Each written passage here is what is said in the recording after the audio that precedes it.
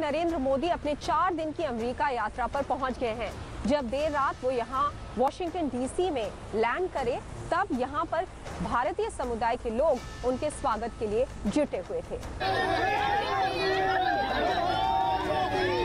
प्रधानमंत्री नरेंद्र मोदी को लेकर अमेरिका में रहने वाले भारतीय समुदाय के लोगों के बीच पहले जैसी ही दीवानगी दिखी। वक्त बदला, अमेरिका में ताज बदला, लेकिन प्रधानमंत्री मोदी को लेकर दीवानगी में रत्ती भर भी कमी नहीं आई।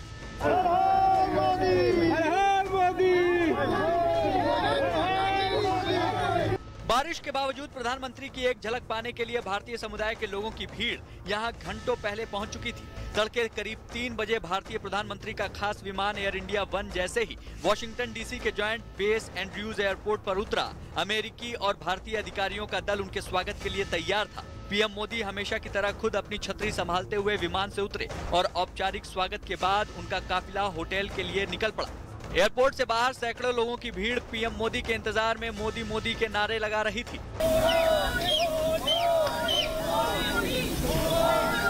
जैसे ही पीएम की नज़र इंतज़ार करती भीड़ पर पड़ी, उनका काफिला रुक गया। प्रधानमंत्री बारिश में इंतज़ार कर रहे लोगों की तरफ़ हाथ हिलाते हुए बढ़े तो हाथों में तिरंगा लिए उत्साहित लोग। मोदी जी मोदी जी और भारत माता की जय के नारे लगाने लगे।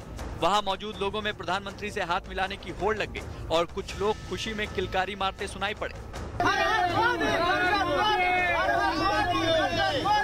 एयरपोर्ट से प्रधानमंत्री का काफिला होटल पहुँचा। होटल में भी पीएम मोदी के स्वागत के लिए पहले से ही अधिकारी मौजूद थे। होटल में कर्मचारियों से पीएम मोदी ने हिंदी और गुजराती में भी बात की।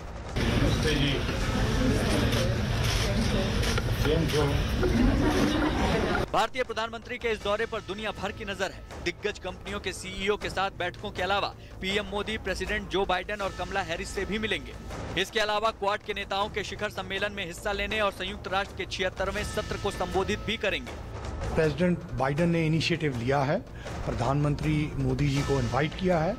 एक बायलेटरल समिट होगी। जिसमें वन टू वन डिस्कशंस होंगी।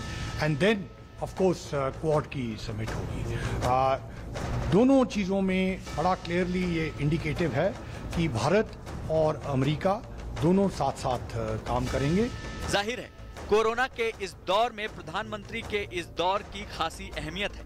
अमेरिका दौरे पर प्रधानमंत्री की एक और तस्वीर सामने आई जो विमान के अंदर की है। इस तस्वीर में पीएम मोदी फ़ाइल देखते नज़र आए। यात्रा के दौरान विमान में महत्वपूर्ण काम निपटाने की इस तस्वीर की तुलना पूर्व प्रधानमंत्री लाल बहादुर शास्त्री की एक तस्वीर से की जा रही है।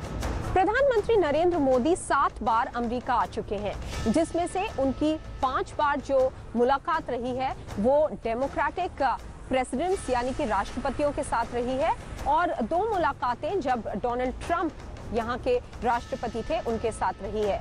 इस बार की मुलाकात जो बाइडेन से हो रही है, जो बाइडेन से प्रधानमंत्री नरेंद्र मोदी की ये पहली मुलाकात होगी उनके राष्ट्रपति बनने के बाद। जो बाइडेन से प्रधानमंत्री नरेंद्र मोदी 2014 में जब वो